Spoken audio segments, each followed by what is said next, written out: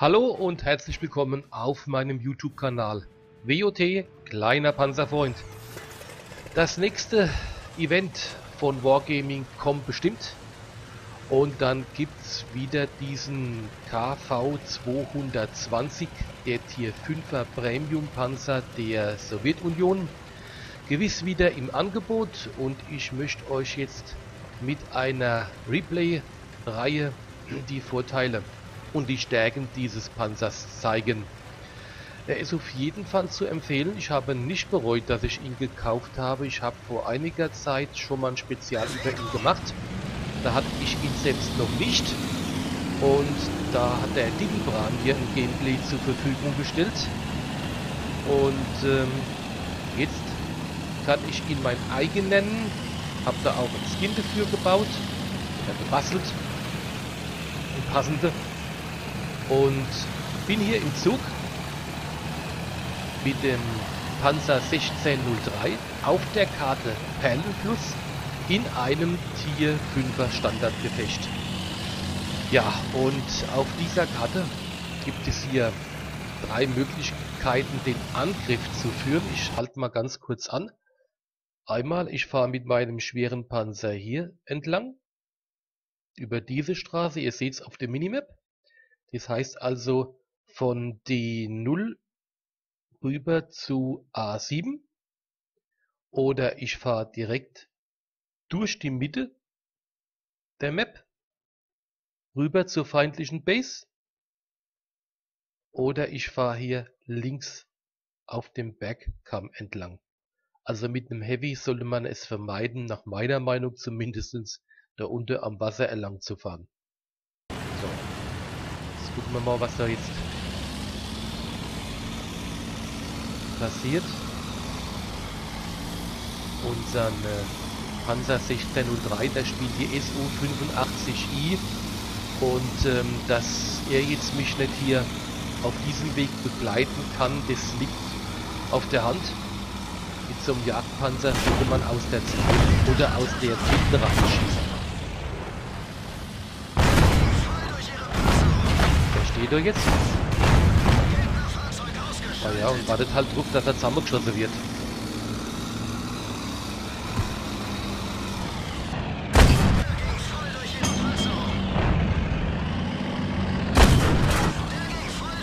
Immer schön, wenn dann ein Panzer hinter einem ist, oder auch mehrere, die einem dann blockieren.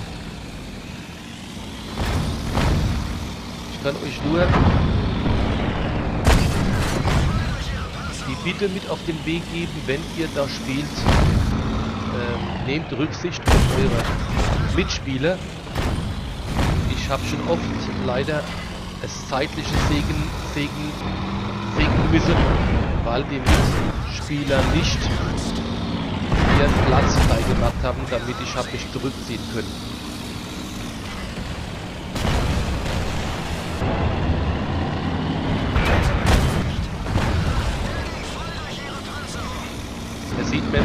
Aggressiv nach vorne pushe. Ich habe jetzt den BDR rausgenommen, habe auch jetzt den AT2 als Deckung genommen, ohne ihn zu behindern, ganz klar. Sollte nicht sein. Parallel hat unser Panzer 1603 auch einen Abschuss zu bezeichnen. Der KV 220, was habe ich da eingebaut? Ich habe eingebaut einen Ansetzer, einen Waffenrichtantrieb und ein Scherenfernrohr.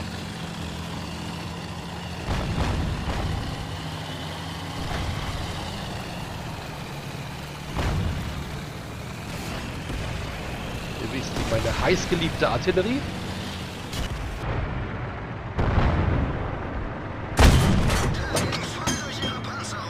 So, noch einer. Weg ist das hat sie verdient gehabt. Da kommt sie. Gelingt mal der Abschuss? Weg ist. Und jetzt muss ich mich da runterstürzen. Ja, das war mir jetzt egal. Ihr habt es nämlich gesehen. Ich habe von der Stufe 3B habe ich hier einen Treffer bekommen. Und deswegen wollte ich mich einfach in Sicherheit bringen. Mittlerweile hat unser Panzer 1603 da auch nochmal Schaden gemacht. Ihr seht es später auf der Auswertung. Spiel ist eigentlich gewonnen. 13 zu 6. Ich bin froh, dass ich nicht im Gegnerteam bin. Jetzt haben wir noch eine M7 Priest und die Stuck.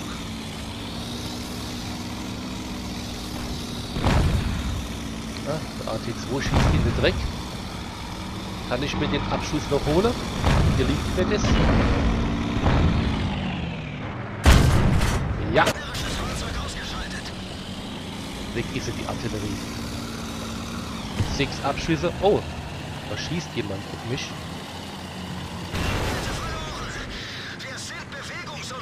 Geht nicht auf.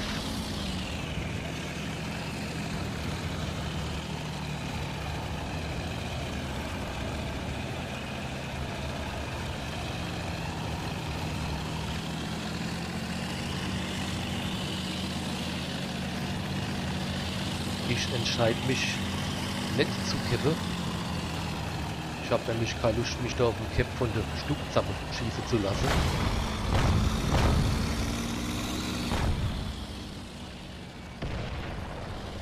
Da steht sie, die kleine Ratte. Und weg ist sie. Erlaub. Spiel ist gewonnen. Sechs Kills. Mein Krieger ist mir sicher. Und jetzt gucken wir uns mal die Auswertung an. Ja, das war ein Sieg und das Überlegenheitsabzeichen zweiter Klasse.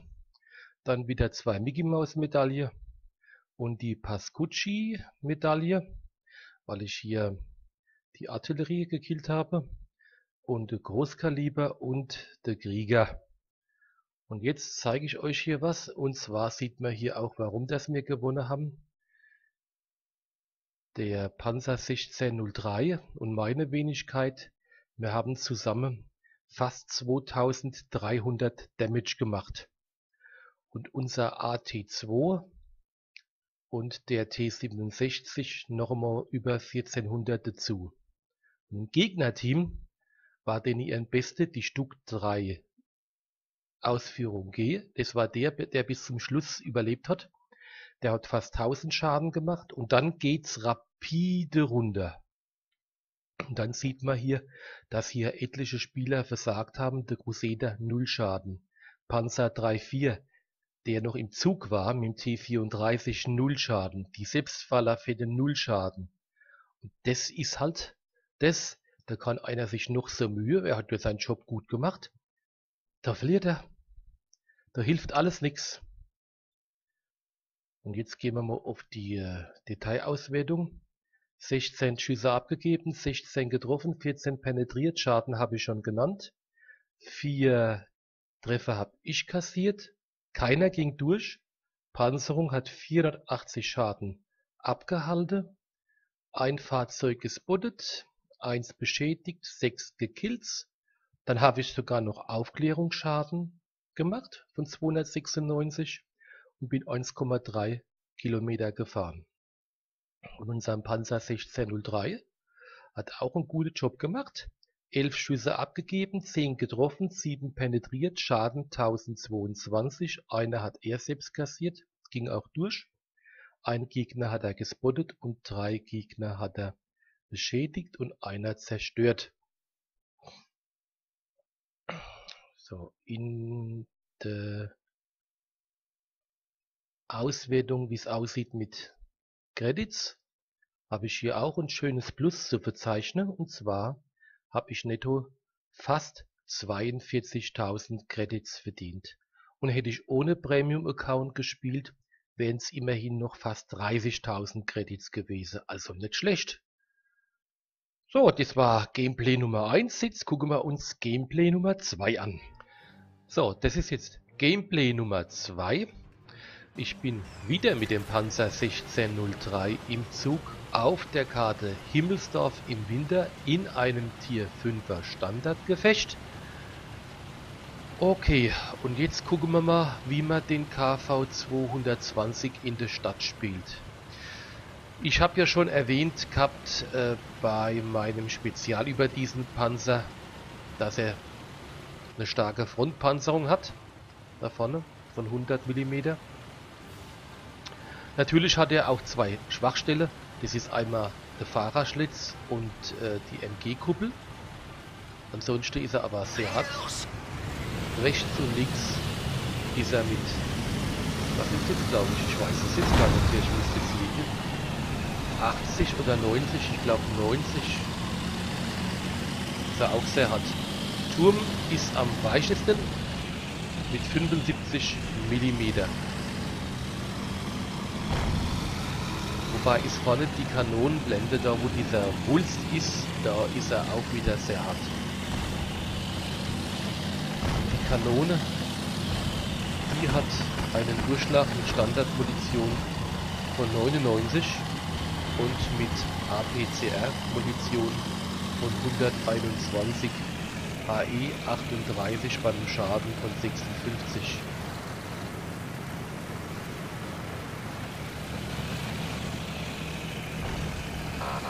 bin jetzt richtig frech.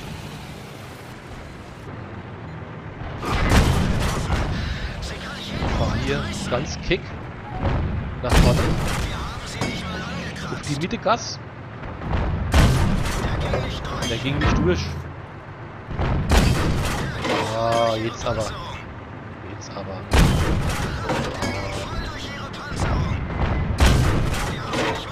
Da haben sie nicht mal angekratzt. Ihr habt es also gesehen. Das kann man schon machen. Was ich jetzt mache, ist falsch. Geradeaus vorfahren macht man nicht. Immer zickzack vorfahren. Aber ja. Nobody is perfect. So, jetzt bin ich mal rechts ab. Mal gucken, was du ist.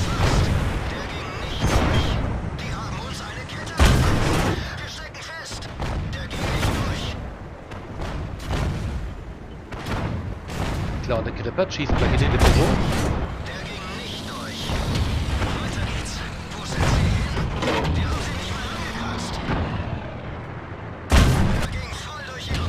Jetzt brennt er. Natürlich müsst ihr wissen, ich würde jetzt nicht allein da so willelos vorfahren und äh, der eine wird sagen, was macht er dann? Ich habe mich hier im TS mit dem Panzer 1603 abgesprochen, dass ich hier jetzt nach vorne gehe, drück, push.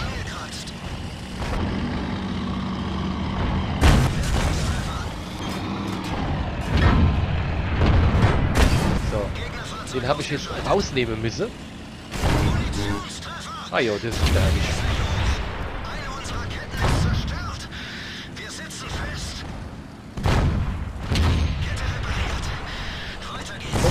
Reckert. So,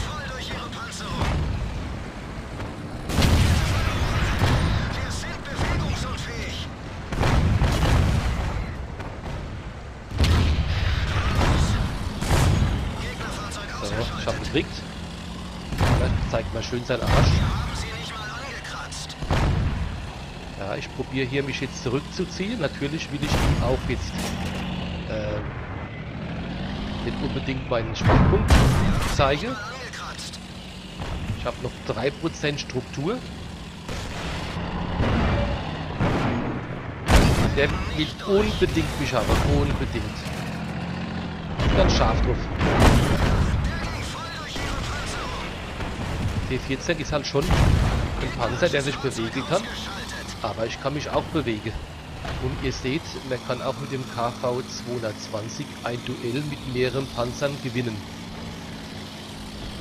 Unser Panzer 1603 wurde leider aufgeraucht. Ich wollte eigentlich mit dem da gemeinsam nach vorne pushen, weil allein hätte ich das jetzt nicht gewagt. Aber er ist dann leider auf dem Weg zu mir aufgeplatzt, der Armkerl. Und schwebt jetzt als kleiner, nackter Engel über mir und schwingt die Harfe.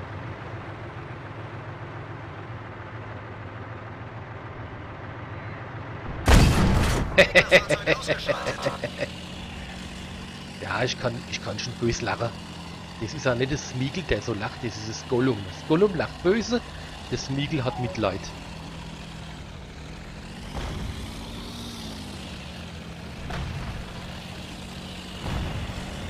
Marder 38T. Beglüht jetzt. Ist wieder so kick der Bub.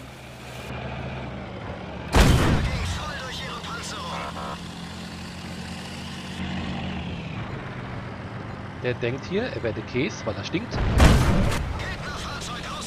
So, jetzt stinkt er, jetzt kogelt er vor sich hier. Und jetzt die M37. Die steht da schon und wartet drauf, dass ich ihr einen Headshot gebe. Die bettelt drum. Komm, lieber Smegel, komm um die Ecke. Lecke drauf. so, ihr habt es gesehen. Ich war ziemlich aggressiv. Der eine oder andere wird wahrscheinlich jetzt sagen, ach, du kannst nicht spielen, um Gottes Willen, das war ja Selbstmord. Es war kein Selbstmord, ich hab, es ist, es hat geklappt. Äh, das kann man machen, wenn man weiß, wie man den Panzer spielt, spielen kann und was er, was er alles so aushält. Und ich habe so gespielt, wie gesagt, weil ich gedacht habe, der Panzer 1603 wird nachstoßen, aber er wurde dahin von der Gegner doch aufgehalten und hat es dann nicht gepackt. Hat mich aber jetzt als kleiner Engel beschützt und hat mir dann geholfen, trotzdem den Krieger zu holen. So, und jetzt schauen wir uns die Auswertung an. Nun, das war wieder ein Sieg. Diesmal habe ich das Überlegenheitszeichen erster Klasse bekommen. Fünf Mickey Maus Medaille, auf die ich wie immer nicht eingehe. Dann hier der Spartaner, Stahlwand, Großkaliber und der Krieger. Das ist eine Medaille, darauf kann man wirklich stolz sein, weil so Kriegermedaille bekommt man nicht allzu oft, das wisst ihr selbst. In der Teamauswertung bin ich mit 1573 Schaden, 6 Kills und 1203 Erfahrungspunkte auf Platz 1. Unseren Panzer 1603, der mir ja folgen wollte, hat ja auf dem Weg an der Gas entlang gleich ordentlich Treffer kassiert, aber er hat sich dann trotzdem noch teuer verkauft und hat 604 Schaden ausgeteilt. Der Matter 38 stehend, hier Vierer hat's auch gut gemacht, fast 1000 Schade. Und da sieht man es auch wieder. Der gegnerische KV1S hat hier auch einen guten Job gemacht. Der hier auch, auch. Und dann ging's dann wieder runter. ESO 85 Alecto. Das war der kleine frische Drecksack, der als der an mich gegangen ist. Den ich dann äh, fast nicht bekommen habe, weil er so flach war. Aber haben dann auch trotzdem ausschalten können hat null Schaden gemacht. So. 29 Schüsse abgegeben, 25 getroffen, 14 durchschlagen, Schaden habe ich schon genannt. 28 Treffer habe ich kassiert, 7 gingen durch, 21 hat die Panzerung geblockt und zwar ganze 2540 Damage hat die Panzerung abgehalten. Nicht schlecht. Ein Fahrzeug habe ich gespottet, sechs zerstört, habe noch 65 Spotting Damage bekommen, bin etwas mehr als ein Kilometer gefahren. Da ich hier auch mit Premium Munition geschossen habe, habe ich dann trotzdem noch 21.405 Credits rausbekommen mit dem normalen Account hätte ich auch noch fast 5000 Credits verdient, also kein Minusgeschäft gemacht. Okay, jetzt habt ihr gesehen, wie der Panzer sich spielt. Und jetzt gehen wir zum Gameplay Nummer 3. Und da werden wir mal gucken, wie man es da ergeht. Nun, ich befinde mich mit meinem KV 220 wieder in einem Tier 5er Standardgefecht auf der Karte Kloster. Diesmal bin ich leider nicht im Zug. Ihr werdet es dann später auch sehen, warum dass ich gesagt habe, leider nicht im Zug. Und ähm, das Team ist bis auf wenige Ausnahme recht rot. Im Gegnerteam ja, es ist durchwachsen. Und jetzt gucken wir mal, wie man es jetzt hier ergeht mit meinem schönen, frisch geputzten und polierten Panzer.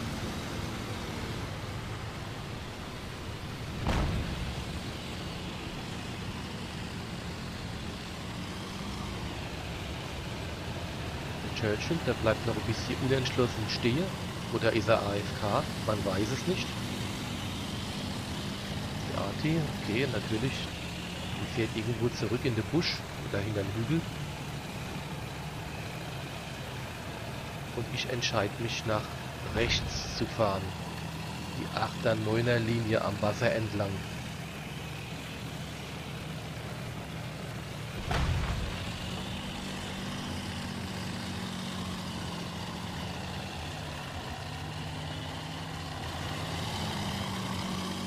Herrliche Landschaft. Da könnte man mal Urlaub machen. Das Wasser. Das hat bestimmt Trinkwasserqualität, so wie das aussieht. Aber ist bestimmt kalt. So, jetzt gehen wir mal da. Ich vermute, gleich haben wir Feindkontakt.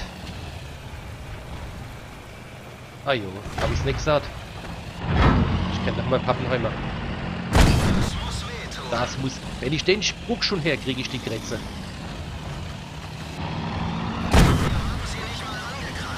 sie nicht mal angekratzt?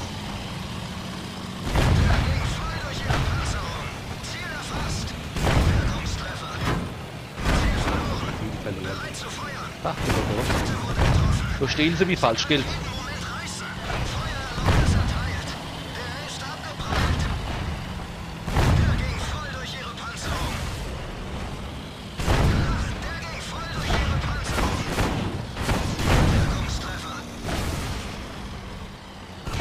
Probiere abzulenken, ne? Das ist schon mein, mein Hintergedanke. Dass mein Kollege ihn zusammenschießt. Der Kurvanander, der hat mich jetzt wenig tangiert.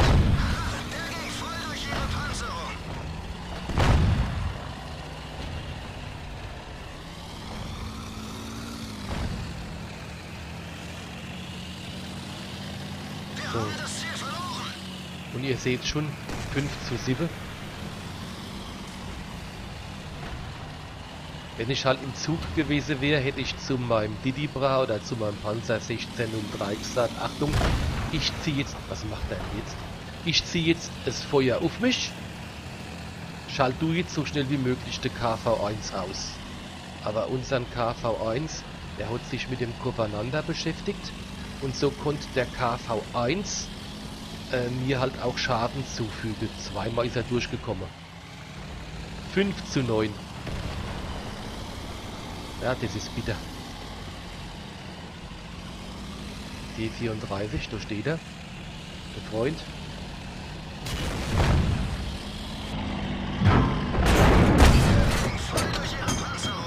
So, oben in die Luke neu.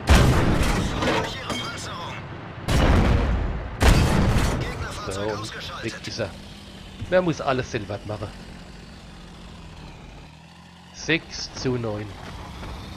Ich frage mich, was machen dann die Kollegen?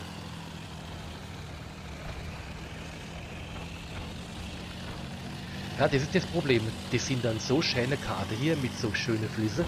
Da haben sie bloß den Urlaub im Kopf, denken an den Baggersee und spielen dann Scheiße zusammen.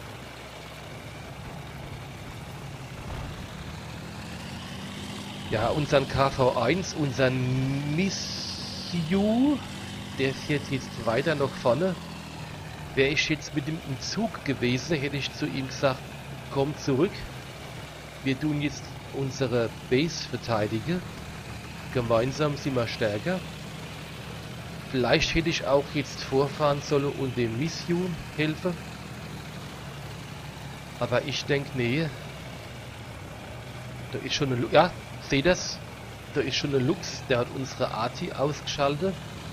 Und der Lux, der kippt jetzt auch. Also war die Entscheidung richtig, zurückzufahren. Ich rufe noch Hilfe. Aber der Misiu, der... Der hört nicht und stirbt. So sehen sie. Die junge Leid. So, den habe ich jetzt mal resettet nur der kleine Scheißer, nur der juckt mich gar nicht.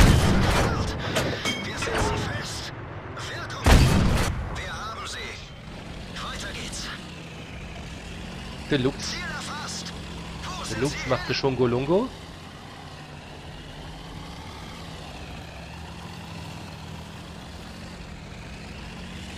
Ja, 9 zu 12. Unseren Durchbruchswaage 2. Ich will dem Paar Schuld geben.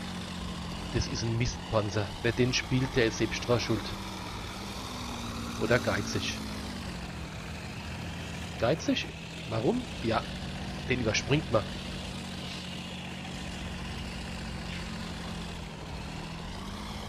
Ja, die Panzer Selbstfahrerfette 4C. Das ist ein guter Spieler. Der hat schon fünf Abschüsse. Der alte Basecamper. Ist aber jetzt nicht negativ gemeint. Der DB2 fährt jetzt da runter in den Tod. Ah ja, das macht man doch auch nicht. Eieieiei.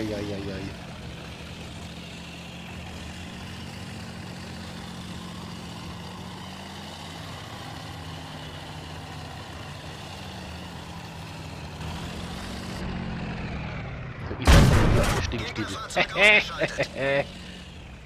Hat gemeint, er wäre flink. Aber ich war flinker. 10 zu 13. Was macht denn der Igor? Der fährt doch hin rum wie Falschgeld.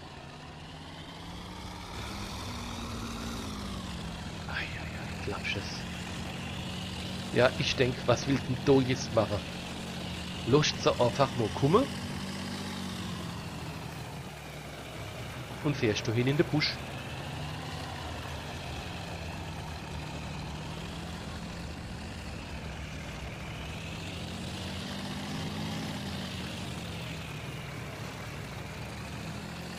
Glaubt es kaum, der gegnerische Valentine hat auch vier Kills. Mittlerweile ist unser Igor auch abgeschossen worden mit seinem Chinu.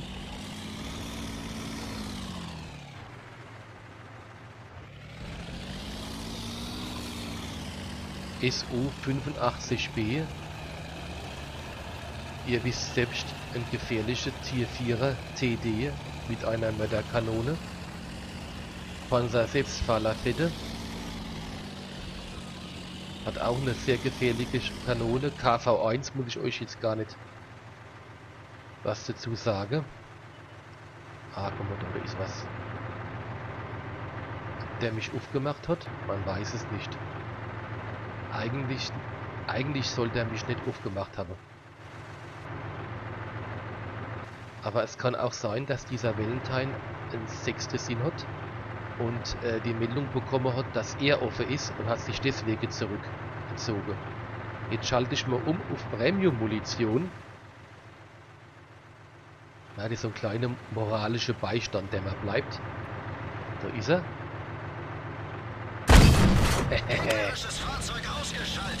so, Basch.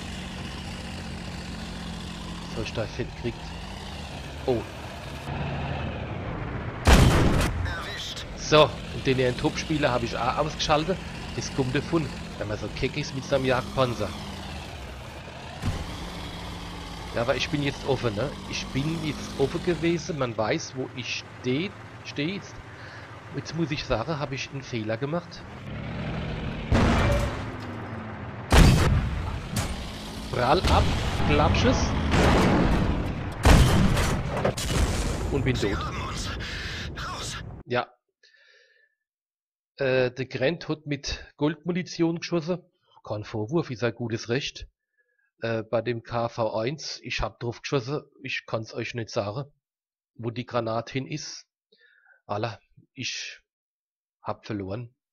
Ich hab mich tapfer gewehrt, hab 1772 Schaden rausgehauen. Aber ihr seht's,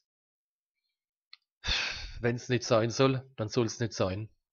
Und jetzt kommen wir zur Gefechtsauswertung. Ja, das war leider eine Niederlage.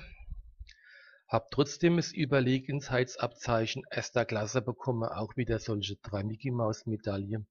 Hab sogar hier richtig fett verdient, zwei, fast 53.000 Credits. Hab den cool ähm, äh, Headed bekommen den äh, Verteidiger, den Großkaliber und den Krieger. Hab hier 1772 Schaden gemacht. Und unseren Misiyuka Hiro hat auch einen guten Job gemacht. Also wenn man das jetzt vergleicht, denen ihr beide Topspieler mit uns beide, haben beide nicht unseren Schaden gemacht. Aber was fällt auf? Das Team ansonsten war recht gut. Die haben dann 900 Fass gemacht, über 700, 700, 600. Und bei uns ist es dann, nach uns beide, ist es direkt abgefallen. Der nächste auf Platz 3 hat 400 Schaden gemacht. Die Hälfte von dem, der hat die Hälfte von dem gemacht. Der hat fast nur Drittel gemacht. Oder das, ja, das ist ein Drittel. Na, bisschen, bisschen, wenig, bisschen mehr wie Drittel. Und so geht's dann so runter. Ja, und das ist halt das, das einen dann das Sieg kostet. 26 Schüsse habe ich auch wieder hier mal abgegeben, 22 haben getroffen, 19 durchschlagen, 30 Treffer habe ich kassiert wieder. 7 gingen dann durch und haben mich dann auch gekillt. 23 sind abgeprallt, meine Panzerung hat 1109 Damage abgehalten. Zwei Gegner gespottet, einer beschädigt, sieben zerstört. Die Base habe ich auch noch verteidigt, habe dafür 76 äh, Punkte bekommen und bin 2,34 Kilometer gefahren. Aber alle Mühe umsonst, trotzdem verloren.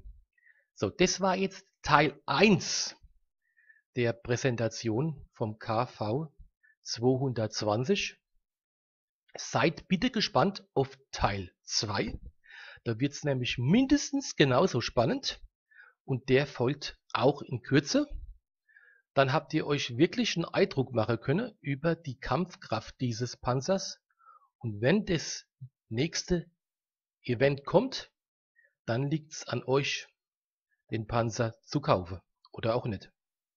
Ich wünsche mir weiterhin viele treue Abonnenten, Kommentare und Likes.